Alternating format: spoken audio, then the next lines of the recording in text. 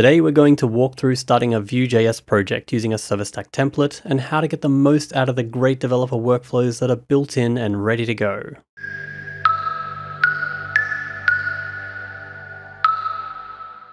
Vue.js has become one of the most popular front-end frameworks to work with, and for good reason.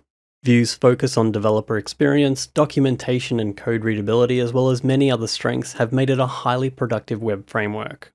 This enables teams to build great performing web applications that remain maintainable as your project grows. The ServiceStack X tool has a Vue Spa template that leverages the advantages of a ServiceStack backend while building your Vue single page application, also known as an SPA or SPA.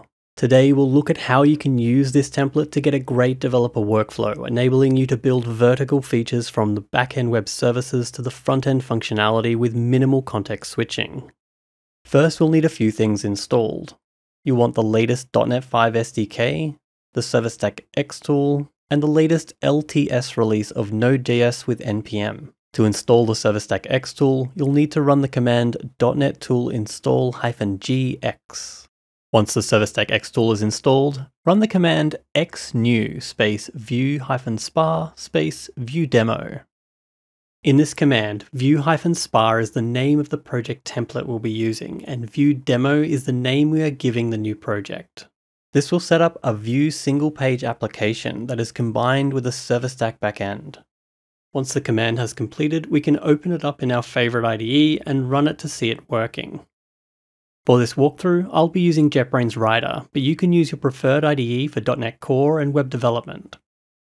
Having a look at our directory structure, we can see the standard four project setup that is recommended for ServiceStack projects. That is the app host project, the service interface project, the service model project, and the tests project. Within the app host project, which has the same name that you gave the template, we can see the package.json file. This is where the Vue application is set up with several npm scripts to make local development more productive, which we'll look at shortly. When we run this application, we start with a page where we can see a simple text input that populates a H3 element with hello and the input provided. This is calling a ServiceStack example hello service whenever the input value changes and uses the response to populate the H3 element. Let's make a change to this page to walk through how to get the most out of this template to make changes quickly. While your ServiceStack instance is running, use the terminal or your IDE to run the dev npm script.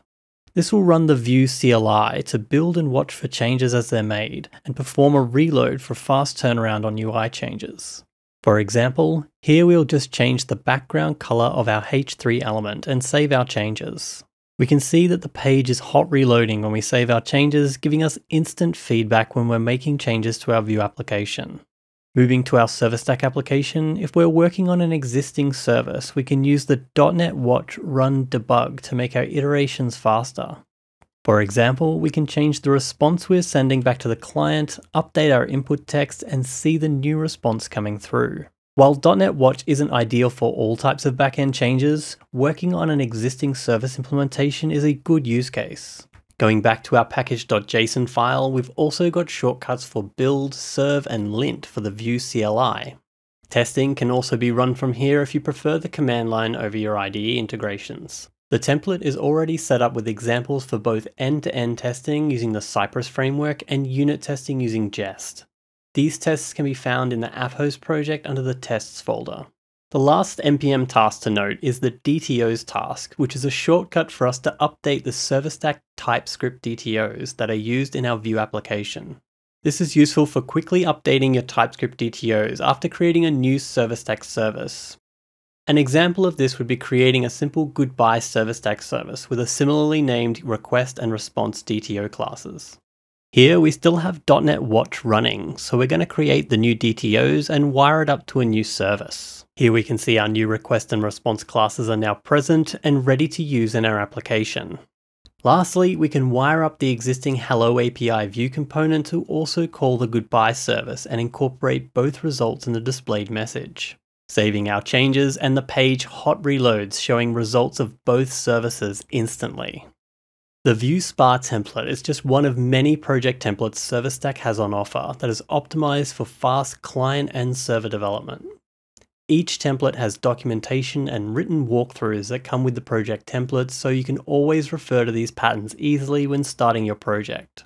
The combination of a great front-end framework like Vue.js and all the advantages and features of a ServiceStack backend enables rapid development cycles, resulting in a great developer experience. That's all for this video. I hope it's showed you some useful patterns that you can use, and thanks for watching.